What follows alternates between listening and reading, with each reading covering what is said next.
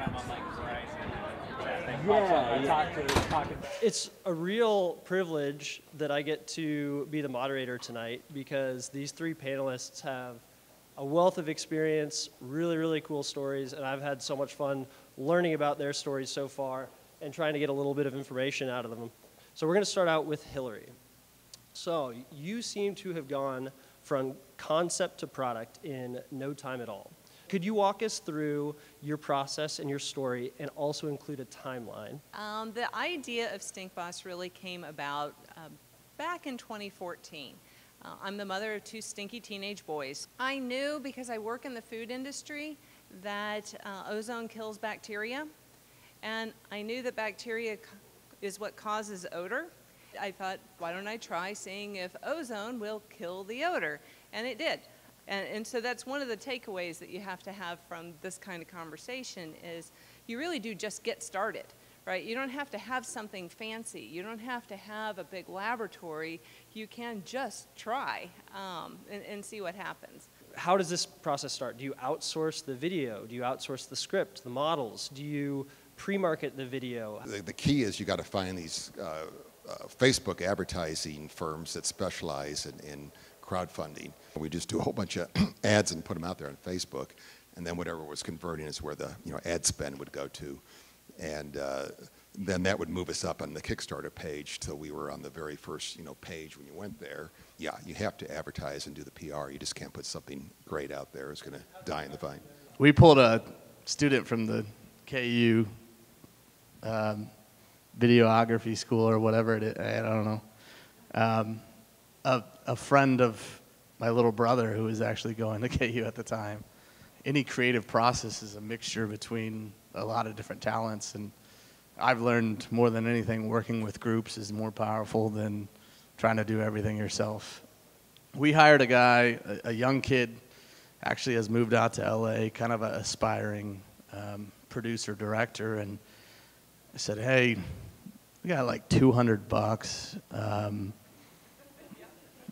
we got a great opportunity with this Kickstarter campaign, and um, can you help us kind of get my vision out there?" I, I just you know watched uh, Kickstarter videos and, and people have been successful on Kickstarter. They're all over YouTube.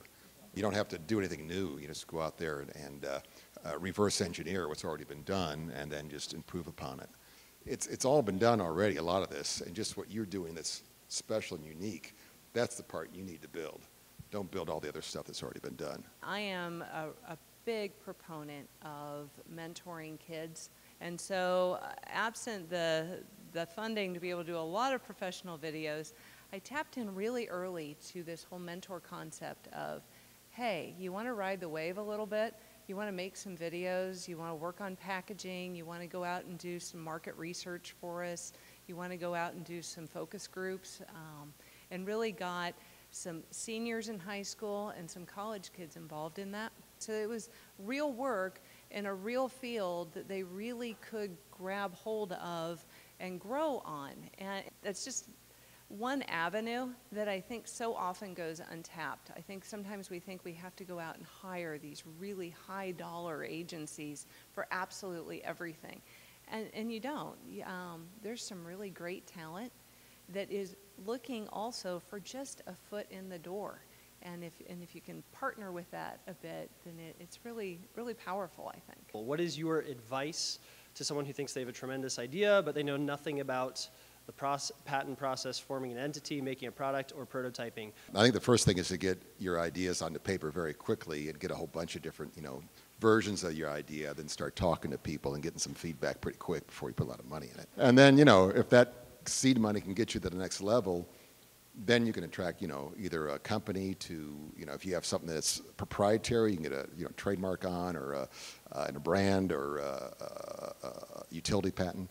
Uh, then you can go around to some companies and say, hey, you know, this is, nobody else has this thing, it's patented, this is really cool. I, I would say patent early, provisional patent quickly, um, before you start talking to a lot of people.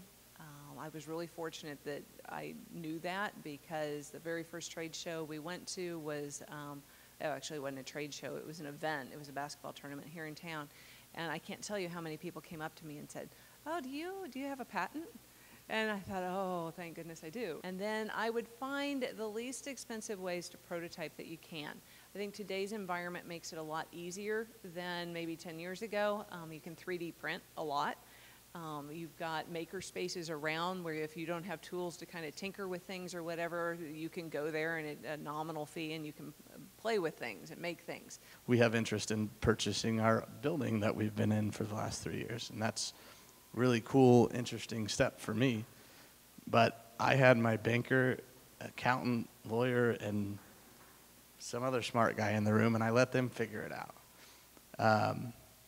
Because it's kind of, you know, surround yourself around people that are smarter, better than you, and um, if you are trying to figure out how to finance something, talk to somebody who knows more about that than you. Surround yourself with people. Um, the way Chase talked about um, solving company problems, that he didn't know everything himself, but that he just positioned himself around, or he positioned other good, smart people around him, like the accountant, the lawyer, the marketing folks, um, because one person although you may be a great business mind, you don't have an all-encompassing business mind. You still need help. I'm actually a behavioral neuroscience major.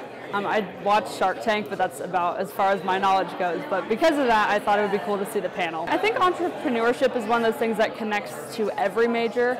Even if you're not wanting to start a business, just the connections in Kansas City and reaching out to other people, I think is huge in any major. I think that there are a lot of connections here. I definitely think that maybe in the future I might explore events more geared towards psychology or my major. But I think that any event that I go to, if I reach out, I'm sure that there's some form of connection that I can find. Because um, I think just making connections in Kansas City and at KU in general are very good.